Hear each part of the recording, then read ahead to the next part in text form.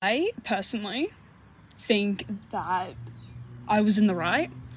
I fully deserved that apology. I I just like to point out that it's not my toxic fan base that's going after her, telling her to end herself.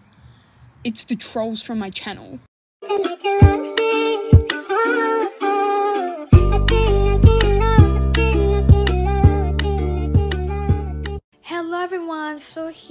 And welcome back to another video. Now this video will contain some sensitive topics as shown on the screen, so be warned. Thank you. In this video, we will be talking about the situation between Ryx and Kimiko, and the situation escalated to the point that even Devil Bona had to mention it. So what happened? Alright, so Ryx, you've probably heard of them. They have recently been harassed by grown men who had nothing to do with their lives. And Ryx overcame them, and that's a good thing. And then they started posting more and more events, which was worrying. And then Ryx accused multiple people of copying their vents, which is even more worrying. And those people, they weren't censored, which led to a wave of people attacking the people who supposedly copied Ryx's vents. And I believe that this is the easiest mistake to do as a content creator. What I'm saying is, if you have a situation where someone is heavily inspired, copied your work, or plagiarized your work by tracing or any similar situation that puts you and another person to a sort of conflict, at least do try to reach out to them. I'm pretty sure that one of the parties had Discord or Instagram, and if they do not have a social platform, which can happen, at least mention in the comment section like, yeah, um, your work is similar of mine, and I posted mine earlier, so if we could have a conversation about it, that could be great. At least give them some time, like wait a day or two. And if during that span of time nothing happens, no reaction, you can publicly talk about it. But at least censor the user. If it's someone re-uploading your videos without any sort of care, you can of course link the account and say this person is re-uploading my videos without my consent please report.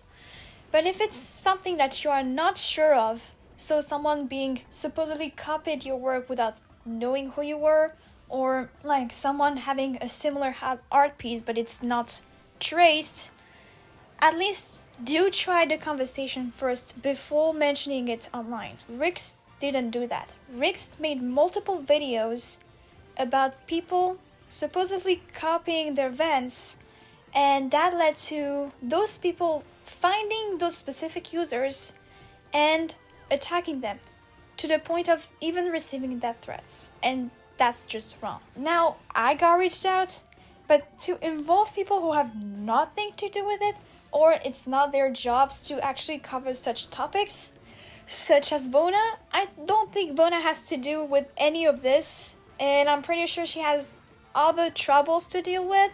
So, in my opinion, things could have been handled out privately, or at least in the comment section, but to make videos about it is a serious mistake to not reproduce. And I hope that Ryx learned their lesson since then. That will be all for this video. I hope that you learned something and please do avoid made the mistake I talked about in this video. This will be hugely helpful for you. I personally had to learn it the hard way, and I do not want people to struggle the same way I did. That will be all for this video. I wish you all a good day or a good night. Bye, everyone! Okay. I fully agree with everyone that this situation has gone too far.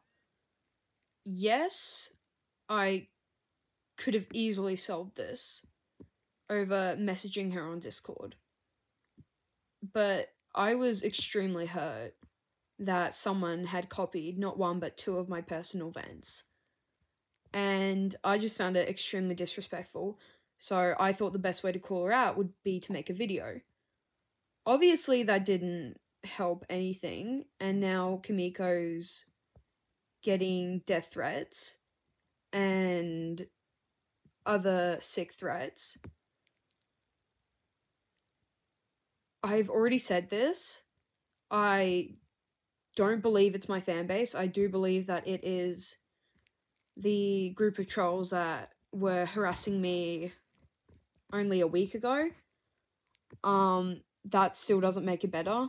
The reason they're harassing her is because they obviously saw my video and thought that it would be fun to go harass her.